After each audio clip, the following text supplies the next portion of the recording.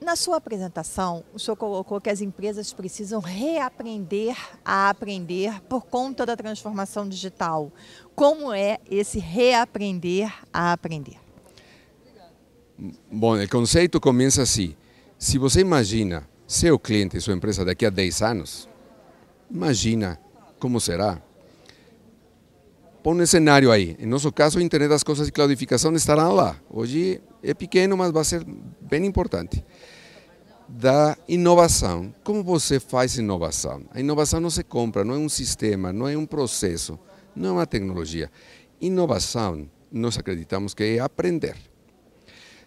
Se você aprende, pode fazer coisas novas que não fazia no passado. Você não pode aprender fazendo as coisas do mesmo jeito. As grandes empresas pararam de aprender porque são empresas de escala que fazem o mesmo todo dia, do mesmo jeito. O processo, a política, o que dá certo sempre é de um jeito. Eles precisam aprender a fazer diferente. Tem que tolerar experimentar, tem que tolerar que uma coisa não vai dar certo, que vai dar algum erro, eh, mas eles vão aprender. E tem que fomentar a cultura de, de, de aprender, arriscar, inovar e aprender. As empresas têm que aprender. E, e, todo el, deal con la relación con las startups, con las universidades, mas agora as startups estão na moda.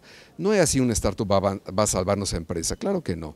Mas essas pessoas fazem muito simples as coisas que nós fazemos complexas. As empresas têm que aprender a ser simples. Quando o senhor fala, como é que o senhor vê mundo, a tecnologia daqui a 10 anos?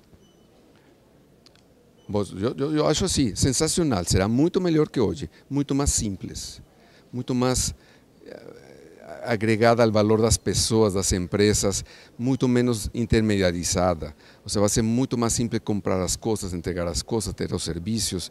Mas, por exemplo, tudo será conectado. Isso tenho certeza, não tem dúvida. Tudo, as coisas, as roupas, óbvio, as empresas, os dados, tudo conectado. E online, on demand. Ou seja, você vai saber exatamente o que acontece o tempo todo com todo o seu sua casa, sua família, tudo.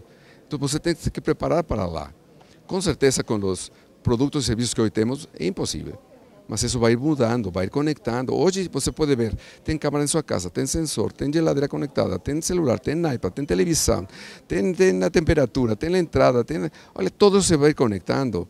Eh, e não necessariamente como hoje conectamos, super simples, tecnologias mais novas, por Wi-Fi, por Bluetooth, por, por uh, baixa potência, mas tudo conectado va a ser así como, como, como un ecosistema falando con otro ecosistema. Las empresas, los vendedores, todo mundo fuera de su lugar, no va a estar en el escritorio o en su casa, va a estar trabajando donde tem trabalho, morando lá, com toda a sua informação, monitorando. Mas, ou seja, eu tenho muito tempo em telecom, nunca teve tantas coisas tão boas para desenvolver o futuro como estamos tendo hoje. O poder da internet, a cloud, a logística de Internet das Coisas, que não significa Internet das Coisas só com chips.